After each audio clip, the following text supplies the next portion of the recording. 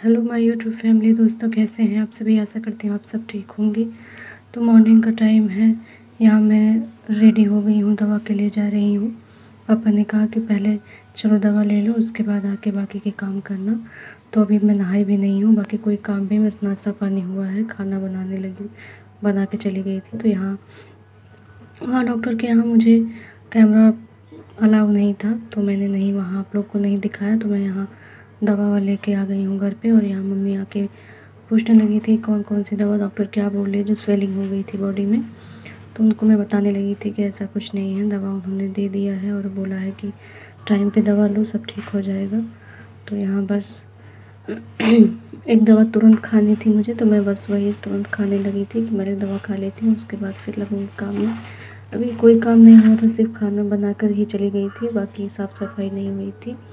तो अदर कमरों में मम्मी ने कर दिया था तो आज मम्मी की भी तबीयत ठीक नहीं थी तो उनके लिए भी दवा ला दी थी मैं और यहाँ मैं दवा खाने लगी थी। दवा खा के उसके बाद लगूँगी अपने काम में। दोस्तों, पता नहीं क्या हो जाता है कि एक कितनी भी आप सेफ्टी बरतिए कितनी भी आप कोशिश करिए, लेकिन परेशानियाँ जब एक बार साथ पकड़ लेती हैं तो जल्दी नहीं छोड़ती। कोशिश यही है, भगवान से प्रार्थना है कि सब कुछ अच्छे से ठीक कर दें, लेकिन इस दर में मेरा कहते हैं ना कि वक्त ही ख़राब हो जाता है। कुछ टाइम ऐसा आता है जब आपका वक्त इतना ख़राब हो जाता है कि आप कितनी भी कोशिश करो, लेकिन आपके साथ कुछ भी अच्छा नहीं होता, सब बुरा लग, होता होता जाता रहता है। पता नहीं किसकी नज़र लग जाती है तो ऐसा ही मेरे साथ हो गया है इस टाइम तो बहुत प्रॉब्लमों से इस समय मेरी लाइफ गुजर रही है, बहुत सारी दिक्कतें आ गई हैं मेरी ज़िंदगी में, और अचानक तबीयत ख़राब हो गई। ना तो स्टडी कर पा रही हूँ, ना कुछ कर पा रही हूँ, बस ऐसे किसी तरीके से घर के काम करके और अपना ख्याल रखने की पूरी कोशिश करती हूँ कि किसी तरीके से पहले मैं ठीक हो जाऊँ, बाकी के सारी चीज़ें होती रहेंगी।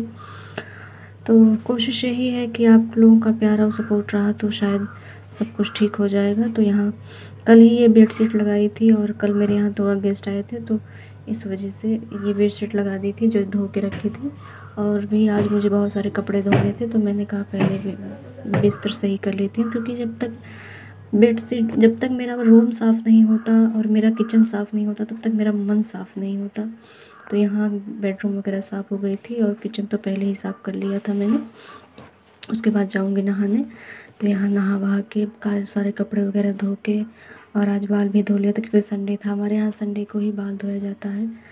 उसके बाद बाल सुखा के आ गए थे यहाँ कपड़े डालने। अभी तक खाना भी नहीं खाया था मैंने मैंने, क्योंकि बहुत टाइम हो गया था और सारे, बहुत सारे कपड़े धोए थे तो लग रहा था कि पहले कपड़े सुखा लेती हूँ तो कपड़े डालने लगी थी यहाँ। और देख लीजिए आप लोग गाँव में किस तरीके से, ये मेरे घर के पीछे का व्यू है और यहाँ जो है लगा रखा है। यहाँ हम लोग रस्सा बाँध के रखते हैं। यहीं हम लोग कपड़े डालते हैं। और बहुत अच्छी धूप आती है। तो यहाँ तो खुला खुला मौसम ही रहता है।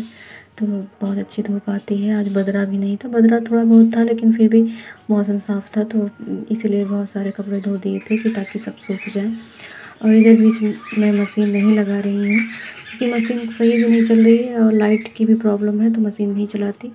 और मुझे लगता है कि हाथ से कर लूँगी तो जल्दी से फ्री हो जाऊँगी। और शीत भी नहीं लगेगी। वैसे मुझे शीत लग जाती है तुरंत ही जब भी कोई काम करने लगती हूँ। इस समय शीत का कालीन मौसम चल रहा है अजीब सा। तो देख लीजिए, इतने सारे कपड़े धो रखे थे मैंने और सब फैला दिया था। और इधर भी सारे कपड़े फैला दिए थे मैंने। और ये देखिए, सब्ज़ियाँ बोई हैं। मैं बता रही थी ना आप लोगों के गाँव देहात में किस तरीके की सब्ज़ियाँ इस तरीके हम लोग लकड़ी वगैरह छत वगैरह पे चढ़ा देते हैं। लौकी चिंडे को तो बहुत अच्छा फल देते हैं हम लोगों को। सब्ज़ियाँ बहुत अच्छी हो जाती हैं। यहाँ देखिए मेरे घर के पीछे मैंने इतने सारे फ्लावर्स लगाए हैं। यहीं से फूल वगैरह तोड़ के पूजा पाठ होता है और जो है बहुत मोहक भी लगता है। मेरे घर के पीछे का व्यू है जो अक्सर मैं दिखाती रहती हूँ आप सभी को। ये तुलसी माँ है। यहाँ रोज़ हम लोग जल देते हैं। दोपहर के एक बज चुके हैं और सारे काम हो चुके हैं। तो बस अब करूँगी रेस्ट। तो मिलते हैं नेक्स्ट ब्लॉग में। तब तक के लिए अपना खूब ध्यान रखिए। हमारे वीडियोस देखिए, हमारे ब्लॉग देखिए, हमें सपोर्ट करिए। Thank you so much.